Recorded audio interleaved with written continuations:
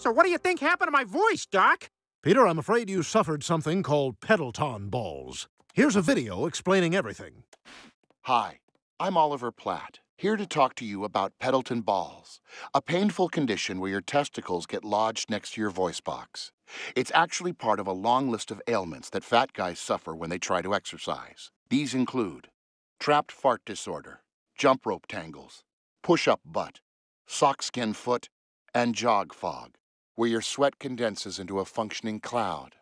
But don't worry, with the help of gravity, Pedalton Balls will clear itself. While you're waiting, check out my 1993 medium hit, The Three Musketeers, because I only do movies with titles that are also candy bars. Isn't there anything I can do to help my voice get back to normal faster? I don't know, I just like putting on videos. I guess try doing something with a lot of needless standing?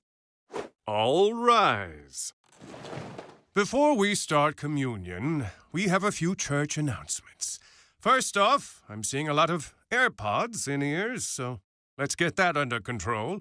Secondly, all hymns now identify as they. And of course, Amen is now a them.